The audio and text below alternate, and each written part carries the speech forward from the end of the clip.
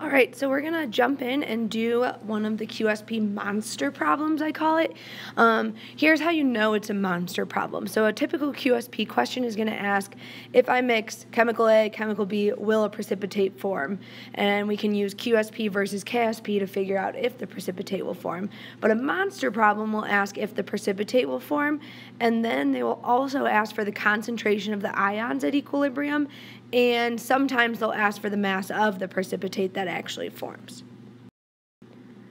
All right, so for step one, they've given us some information, um, and they want us to know, they want to figure out if the precipitate will form. So step one for these monster problems is going to be finding QSP and comparing it to KSP.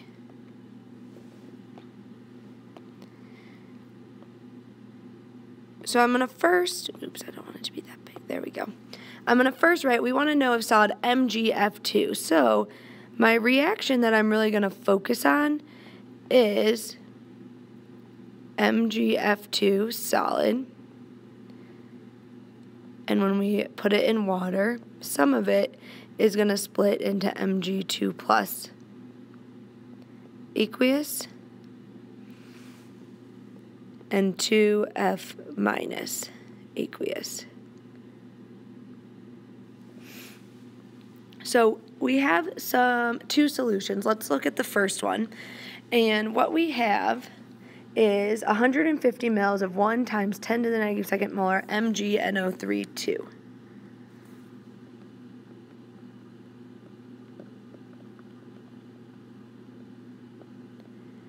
And we have 1 times 10 to the negative second molar. So this guy's going to split into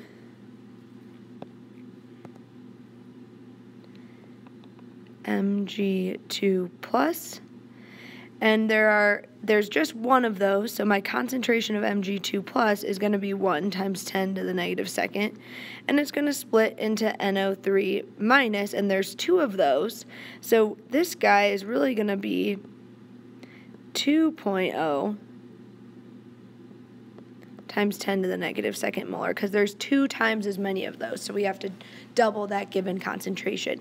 That NO3 I don't see in my main equation, so it's not that important. It's a spectator ion. Some problems will ask about the spectator ions, and the easy part is we take this as our M1 and we um, use the initial volume as our V1 and then we divide that by the total volume, which is the 150 plus 250 to get the concentration of the spectator, because that's not going to be used up in any way. So we can actually find that concentration now using a dilution.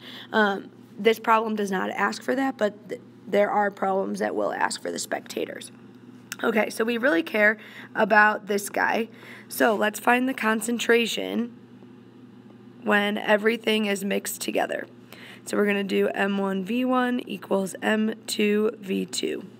So we'll take our 1.0 times 10 to the negative second, and there's 150 mils of that. Set that equal, we're looking for M2, and our total volume is 150 plus 250, so that should be 400.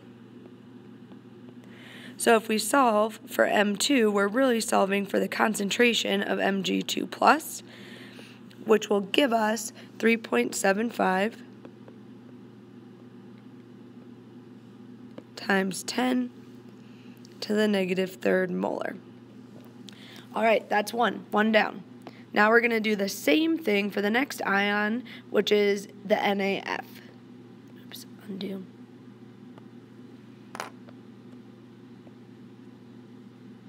Do.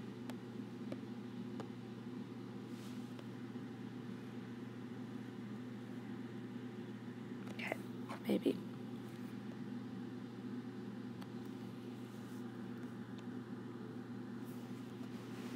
All right, I think I'm ready. Um, so we have 1.0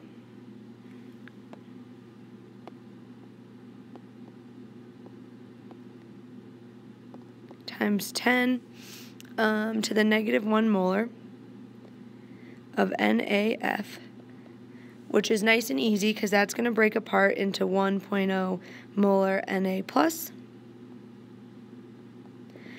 Oops.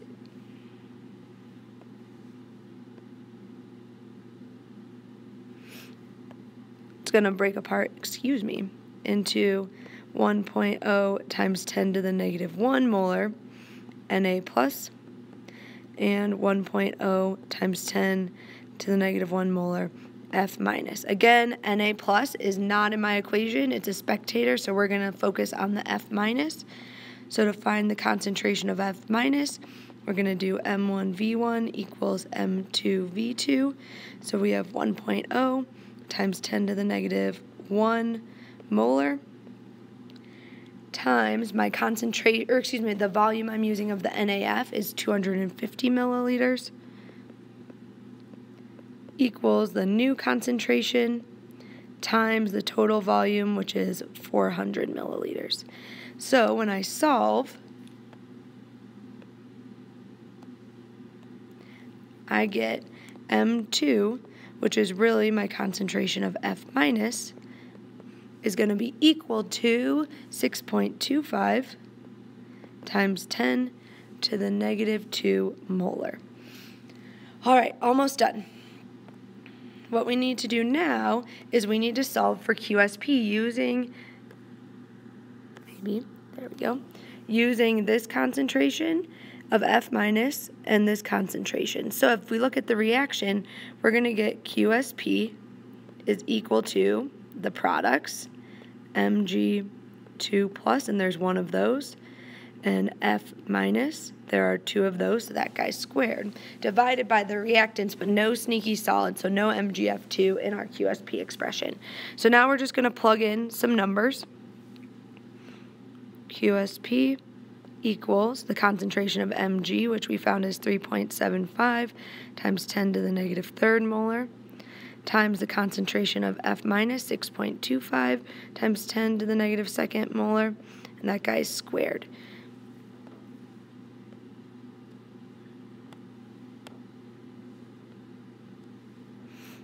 So, QSP is equal to 1.46 times 10 to the negative fifth. And they gave me in the problem KSP was equal, for this solid, was equal to 6.4 times 10 to the negative ninth. What that tells me, well, oh, that's nifty. What that tells me is QSP is bigger than KSP because times, times 10 to the negative fifth is a bigger number than times 10 to the negative ninth. So a precipitate will form.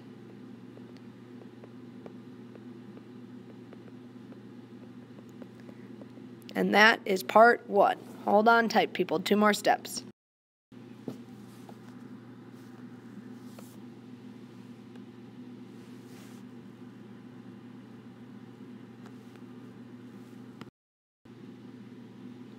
All right, step two is stoichiometry. Um, so we know that a precipitate is going to form and it's going to form to completion. So we need to figure out how much solid is made and we need to figure out one of the ions is going to be in excess. So what I'm going to do first is I'm going to write that precipitation reaction that's going to happen. And so we're going to get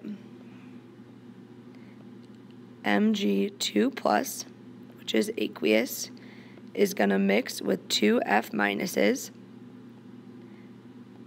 And I'm going to just draw a one-way arrow because a precipitation reaction will go to completion. And we know that because QSP is bigger than KSP. So we know this is happening. And we're going to make that solid. So a little stoichiometry. Remember, we only put moles in our stoichiometry table, in our BCA table. So I need to find, before we mix anything, how many moles of Mg2 plus there were and how many moles of F minus there were.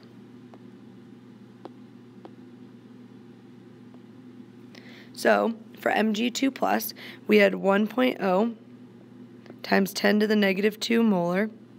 Sorry, that's a 2 and it's going to be equal to x moles divided by the volume of just that um, MgNO3.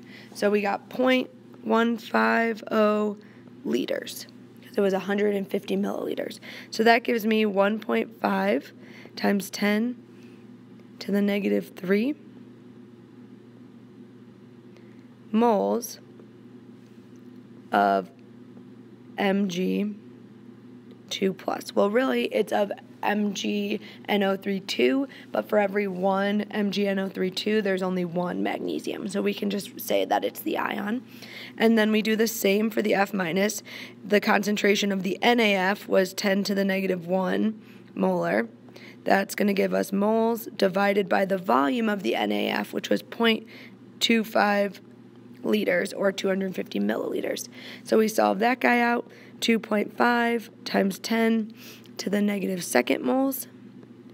And that's of NaF, but really we care about the F minus. So I'm going to plug those in for my before.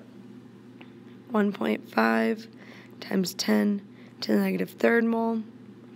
And the reason we have to do moles and not molarity is because these guys have different volumes. So we can't compare them directly like when we do ice, they'll be the same volume because they're already mixed together, so we can use concentration.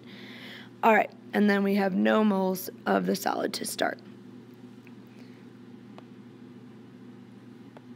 So to set up my change line, we know we're moving to the right, moving towards the zeros because the reaction goes to completion. So we're going to use up some of this. We're going to use up 2 times x of this, and we're going to make x of this. So now we have to figure out what x is. To figure out x, we're going to take, kind of do that down here.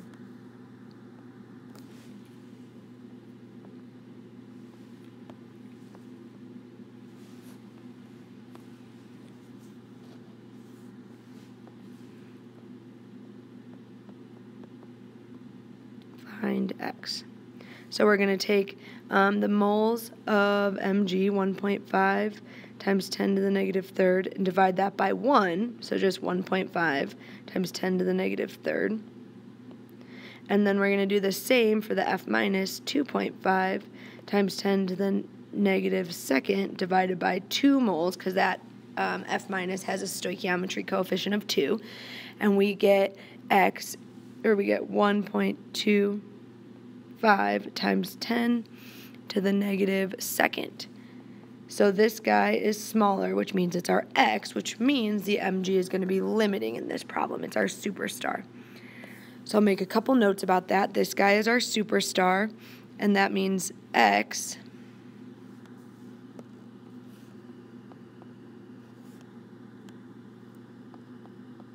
one point five times ten to the negative third. So really, we're subtracting 1.5 times 10 to the negative third. We're subtracting 2 times 1.5 times 10 to the negative third, and we're adding 1.5 times times 10 to the negative third. So we, let's do some math. 1.5 times 10 to the negative third minus 1.5 times 10 to the negative third. That means we have 0 moles of Mg2 plus left over, which makes sense because that's our limiting or excess. Um, we're going to take 2.5 times 10 to the negative second minus 2 times 1.5 times 10 to the negative third, which gives me 0 0.022 moles of F minus excess. And then we're going to take 0 plus 1.5 times 10 to the negative third. So 1.5 times 10 to the negative third moles MgF2 produced. At this point, if the question asks for the mass of the solid, we would just take my moles of solid and turn it into grams. This problem does not ask for that, but you would just do mole island using molar mass. Okay? Part two, done. All right, last step is we're going to do some ice to figure out what our concentrations are at equilibrium. So now we go back to our usual um, KSP reaction or our um, dissolution reaction. So we got the solid in equilibrium breaking apart into the ions. 2F minus, we'll say AQ for aqueous. And we got ice, ice, baby.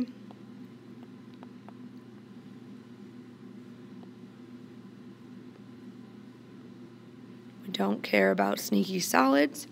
All right, so a couple of things. If we look at the reason we did stoichiometry was not just to figure out how much solid was made, because not every question asked for that. It was to figure out which one's going to run out and limit and which one we have excess of.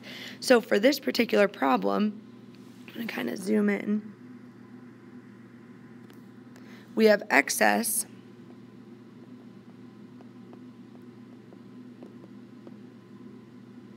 of the F minus, whoops, and they we found in our table it was 0.022 moles.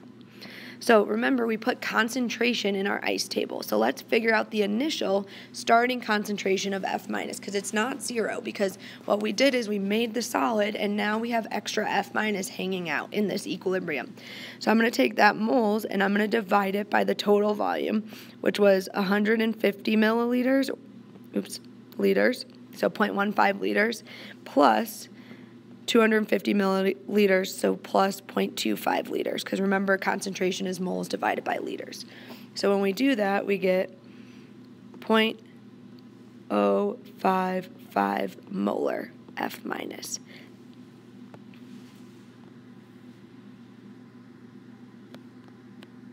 That is going to be our starting concentration of F minus. There was no excess Mg. We used it all up, so there is none as our initial, no excess. So now we do our regular ice. We're going to move towards the zero still, so we have a zero on the product side, so plus x and plus 2x. So now we get x and we get 0.055 plus 2x.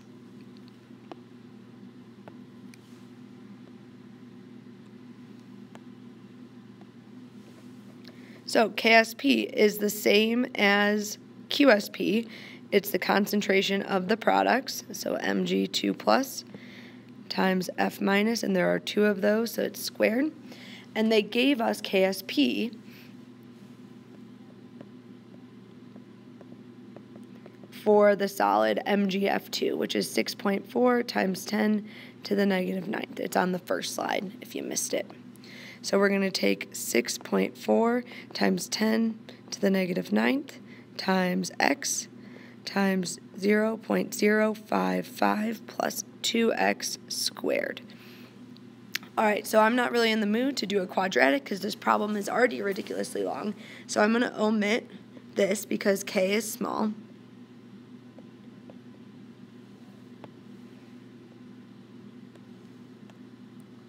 So that now gives me 6.4 times 10 to the negative 10th equals x times 0.055, and that's still squared. Don't lose the squared. So now we can just solve for our x. And I'm going to kind of skip some algebra steps for sake of time. I got this. 2.1 times 10 to the negative 6, and remember the unit for x is mole per liter. Okay, let's check real quick 5% rule.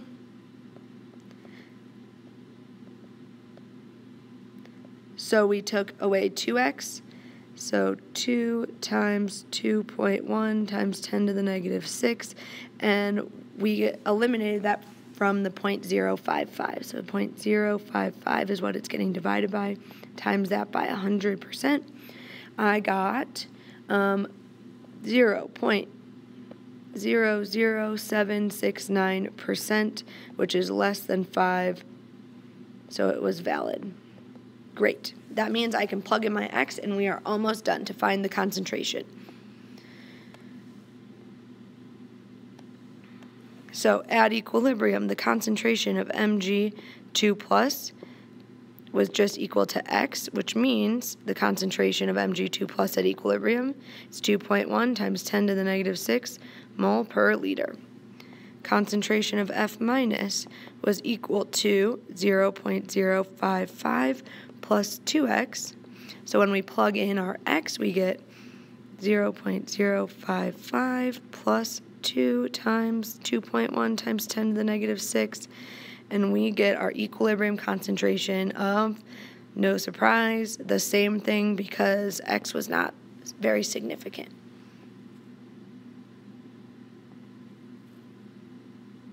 Woo! We did it! Stay there.